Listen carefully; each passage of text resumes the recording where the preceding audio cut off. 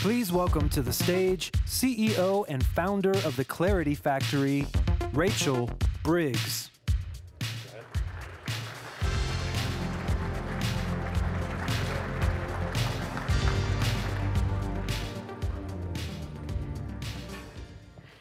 Good morning.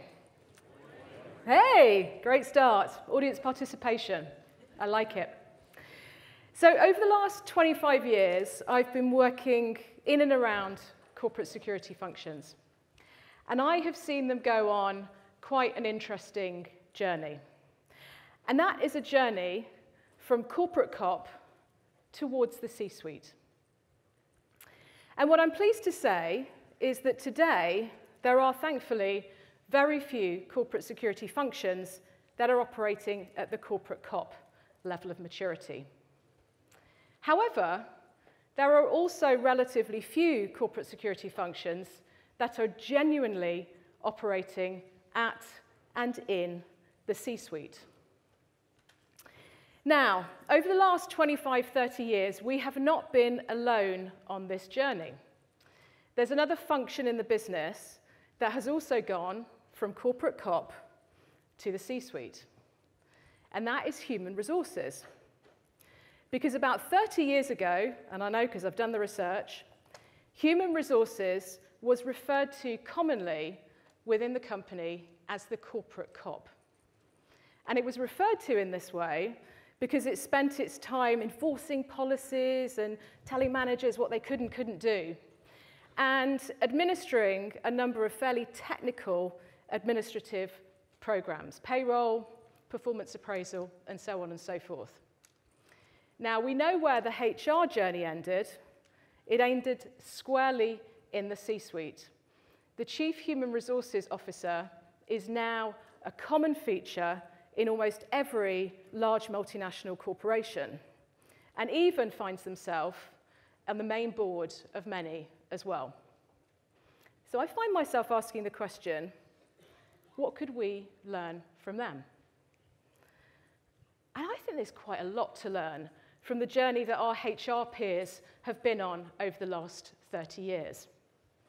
Now, like any journey, it's a mixture of accident and design. So let's deal with the accident bit first, and that's about the timing. Now, to cut a very long story very short, about 30 years ago, a number of trends began to emerge in the outside world, most notably globalization and digitalization, which meant that for large corporations, talent became a critical business value. Finding good talent, retaining good talent was a business critical priority. And some smart HR leaders decided that if this was the problem that their business leaders were grappling with, talent, they, on the HR side of things, looked at their own resources, their skills, their competencies, and they thought, there's a nice coming together here. We could just be the solution to that talent problem. And let's not forget, it wasn't a foregone conclusion that talent would rest in the HR function. There are other places it could have found its home. So they realized that they had potentially a business value for their companies. But they didn't stop there. And this is where the design bit comes in. They realized that if they were going to fulfill that opportunity, they would need to get to work. And that's the education bit.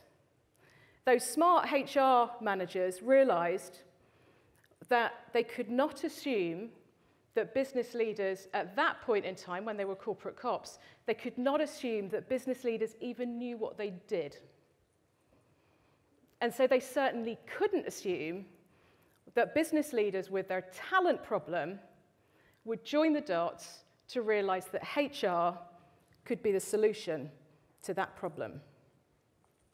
And so what they did was they embarked on a sustained campaign to educate, to demonstrate, and to tell the talent business value story.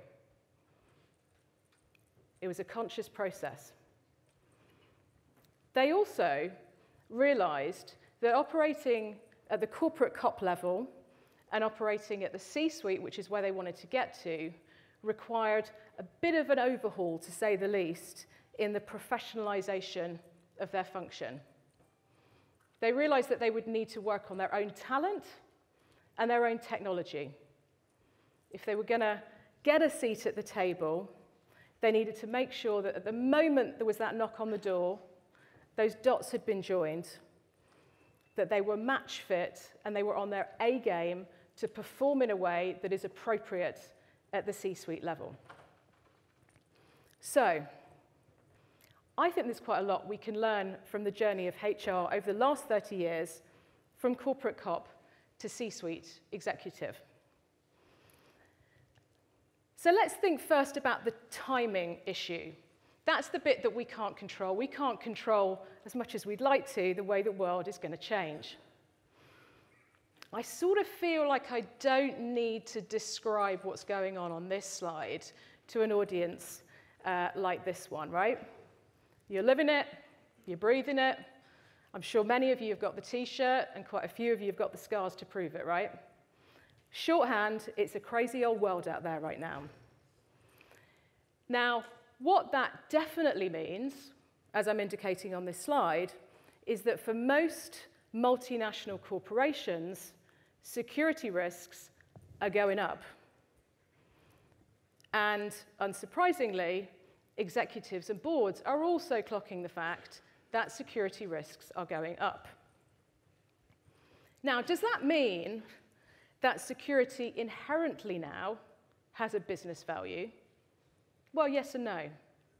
For those companies for whom security is business critical, absolutely, it always did and it always will. But for those companies where security is important but not critical, it means security got more important but didn't necessarily get to the level of criticality that would make it a business value. So, how do you work out what your business value is in this kind of world? Well, I think it's quite simple. And I'm going to share my little secret with you right here, right now, on this Ontic stage. So, if you can picture a Venn diagram, and on this side of the Venn diagram are the things that your business leaders care about.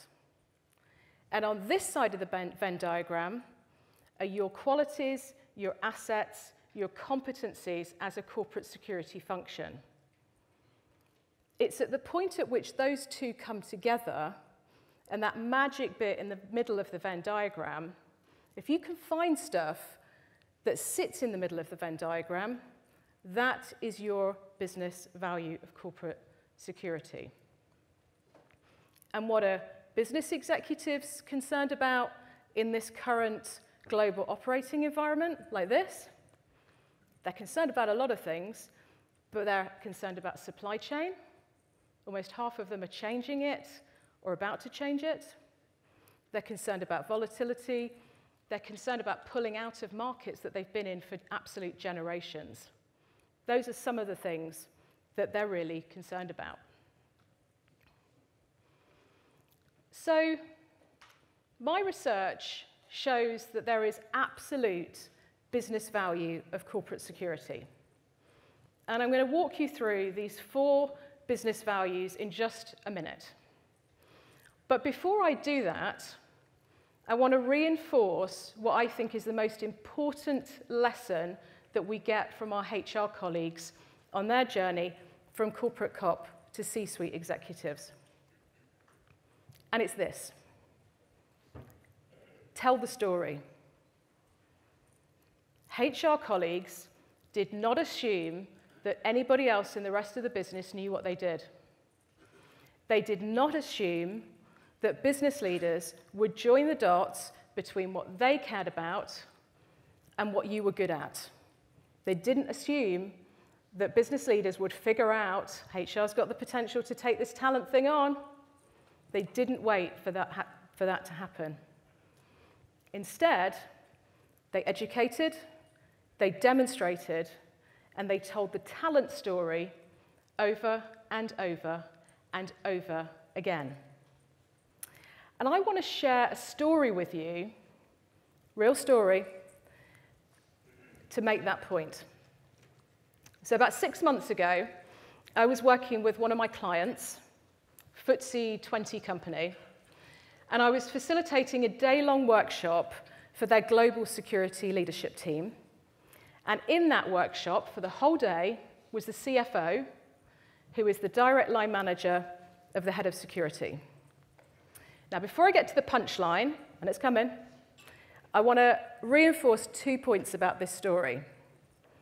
Number one is that this is a company for whom security is business critical. Security has always sat in the middle of that Venn diagram. The second thing, which careful observers of what I've just been saying may have noticed, is the fact that the CFO, who is the direct line manager of the head of security, took a whole day out of his time to sit in on that workshop. Doesn't happen very often. This is a security line manager who takes his responsibility seriously because security is squarely in the middle of the Venn diagram for that corporation. So we're in the workshop, and as any good facilitator, I was sort of you know, scanning the, scanning the rows and scanning the faces to, to sort of read the room and see how the material was going down. And at one point, I looked over at the CFO. I could see he had somewhat of a confused look on his face. Now, I'm not saying that's not unusual when I run workshops. However, I wanted to know what he was thinking. And so I did what any good facilitator would do. I sort of paused for a minute, give him a chance. Is he going to volunteer this? Or does he want to take some more time to think and maybe come to me discreetly um, in a coffee break? But he, he, he wanted to share. And he said something to me which shocked me. And I'm pretty sure that it surprised everybody else in that room. He said, he leant, leant forward and he said, Rachel, I understand why I care about geopolitics. But why does my security team care about geopolitics? light bulb moment. Because there you have a company where security is firmly in the middle of the Venn diagram. You have a CFO who is prepared to give a whole day to his security team because he knows how important it is. And he hadn't joined the dots about why the thing that he cared about was relevant to his security team and maybe they could help him solve the problem. So never assume, always tell the story. So let's talk business value, shall we? And I've got four that I want to talk you through this morning. And for the first of those business values, I would like to, this might be daring of me, I would like to use and slightly revise a phrase that one of your former US presidents made popular 30 odd years ago. It's security stupid. So, whether or not security sits in the middle of your Venn diagram between what business leaders care about and what you can do about it, security risks are rising, and business leaders know they are rising and they care about them. So, whether or not this is absolutely business critical for you, you need to be on your A game. This is what a CEO who I interviewed last year told me, and I'll give you a second to read it.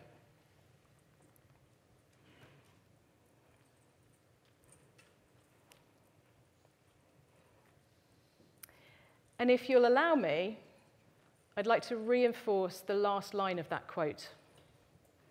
It would be very, very rare that I would actually go against what they say. That's the CEO people. They get it, they know it's important. And here's the takeaway, and I'm, I'm stating the bleeding obvious, so go with me on this one. Security matters. You need to be on your A game, and this is where you need to give the majority of your focus. Because it's no good getting to the C suite and dropping the ball on that which you are there to do and that which you are there to pay for, you are paid for. So, focusing on getting excellence within your circle of control, i.e., what the function is there for, is vital, and what's more, it will grow your, your circle of influence across the business. The second business value that I want to talk about is connectivity. And this is, as far as I'm concerned, one of the key assets that the corporate security function has. And it has it more than most of the rest of the corporation. And I want to talk about connectivity in three different ways within, across, and between. Connectivity within the function, connectivity across the business, and connectivity between the business and the rest of the world. So let's start within, the, within your function. Now, I've chosen an area of responsibility within the function purely at random. My point is that delivering excellence within your area of responsibility means behaving as a team. Working together, having connectivity across the function is what will bring you, it's one of the components that will bring you excellence in delivery of corporate security. It's true for all areas. It doesn't matter which area you pick, whoever is responsible for that will, to be on their A game, needs to be working with colleagues, drawing information, data, intelligence, insights from right across the function in order to be able to operate at the level of excellence. This is also true for your relationships across the business, as the last speaker from Dell reminded us. It's almost impossible, I think, to deliver your job and your responsibilities at the level of excellence if you're not also working as a team across the business. Again, take any area of responsibility you have at random. Workplace violence, which I know many of you have responsibility for these days. Sure, you can create a workplace violence program that's security led and security delivered. Yeah, probably do, you know, okay job. But if you want to be delivering at the level of excellence, I would argue it requires at a minimum that you're cooperating with HR, facilities management, and cybersecurity, to name just a few. And I think these days, I think we'd be hard pushed to find an area of responsibility for the corporate security function that didn't require collaboration with at least two or three other parts of the business to be able to deliver at the level of excellence. Not to do an all right job, but to deliver at the level of excellence.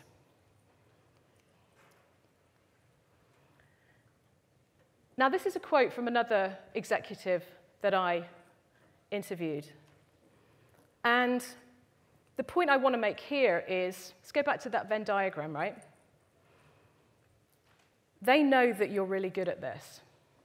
They understand that the corporate security function is one of the most connected functions in the business.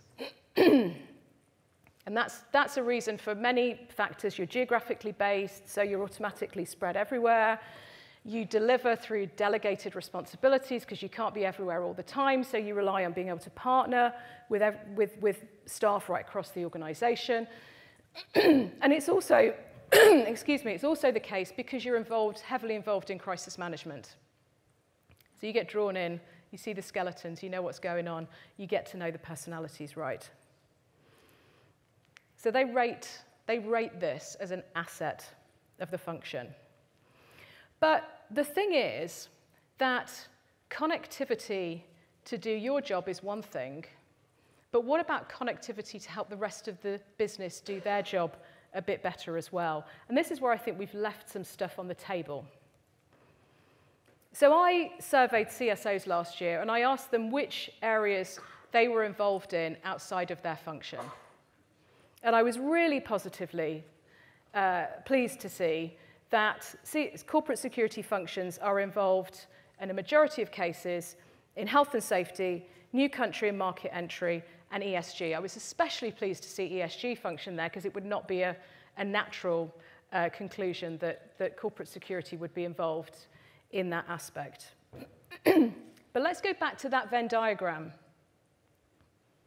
What were the things we talked about that business leaders care about right now? Uh, near the top of the list is supply chain, which is no small deal for a global company trying to change its global supply chain.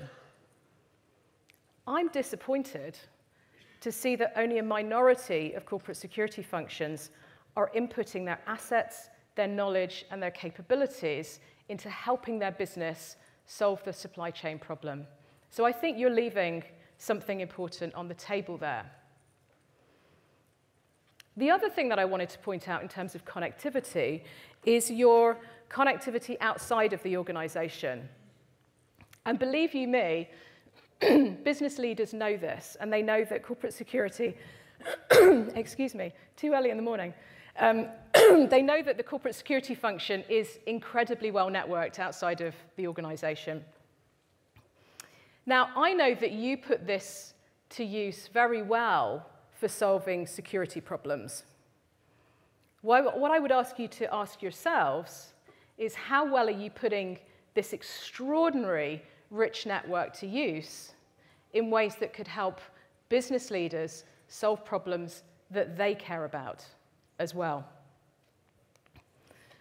the third area of business value that I want to talk about briefly is around intelligence and insight.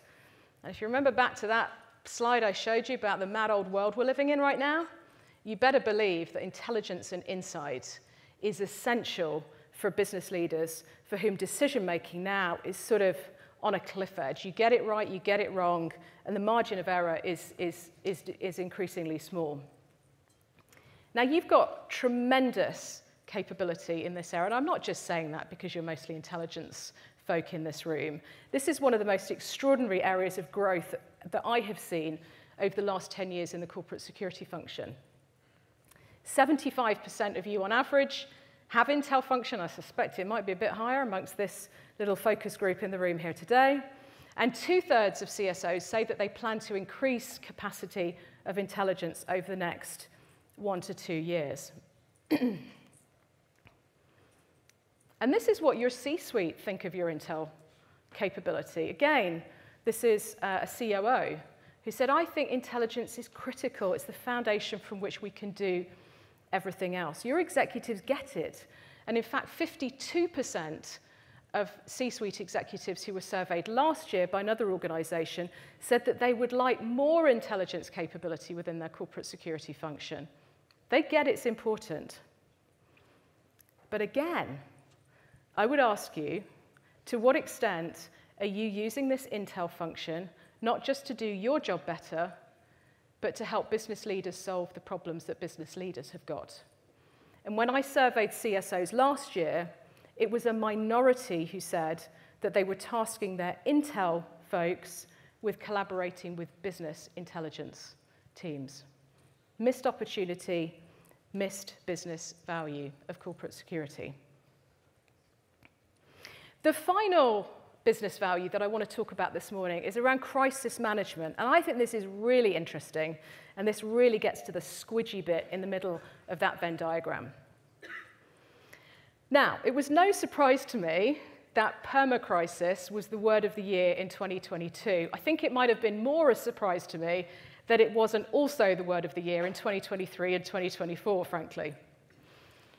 Crisis is pretty much the price of doing business in today's global business operating environment. And business executives know that having crisis management structures is really important, which is why Large corporations have the crisis management structure, the process, the formal bit, such that when something reaches the threshold of crisis, it goes over to that crisis management team who are tested, well prepared, and they handle it on behalf of the company.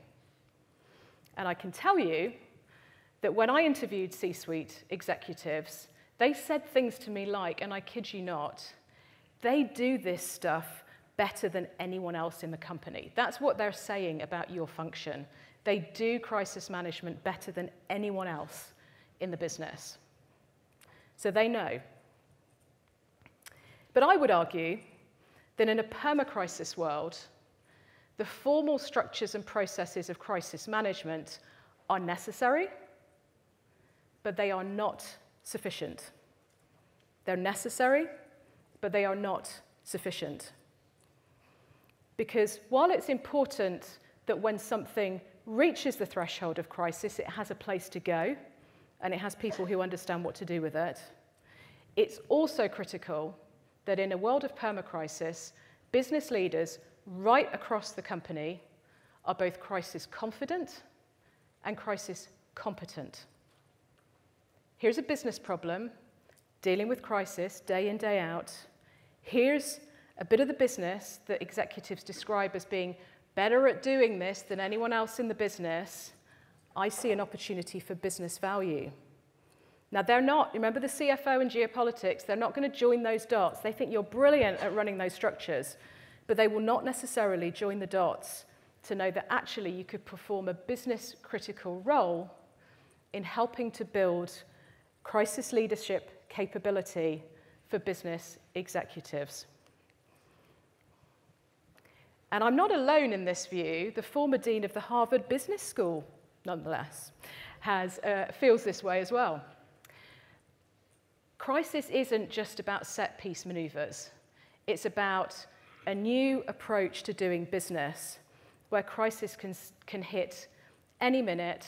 You might see it coming, you might not see it coming. And so, as I said, those structures and processes are necessary, but they are not sufficient and they create an opportunity for the corporate security function to demonstrate and deliver genuine business value. And so, finally, a word on professionalisation. Because, as with HR 30 years ago, they realised that they couldn't wait until they got the seat at the table to make sure that they had the right talent in place and the right technology in place, because you don't know when that door's going to be knocking, right? They had to start as soon as possible investing in their people, taking them from good enough for corporate COP to good enough for C suite. And so none of this can happen, it doesn't matter how many opportunities you've got. None of this can happen if you don't have talent and technology which is appropriate for delivering excellence at the level of the C suite. It's not going to happen. Professionalization is absolutely critical. So, in conclusion, I think there is a lot that we can learn from the journey that HR went on 30 years ago. Just like them, the world just happens to have changed over the last few years, such that the challenges that business leaders face and the qualities and competencies and assets that we have always had now have the opportunity to come together in the middle of that Venn diagram, and it offers you the opportunity to deliver not just excellence in the area of security, that which you are there, um, that which you are responsible for, but to also deliver business value across the organization. In other words, it offers you the opportunity to solve the problems that business leaders really care about. But if you take just one thing from what I've said today, just one thing, I want it to be this. Don't forget to tell the story.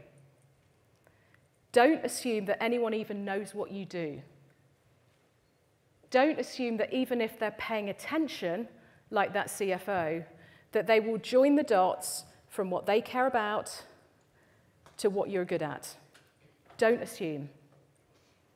You need to educate, you need to demonstrate, and you need to tell the story of the business value of corporate security again and again and again. Thank you so much.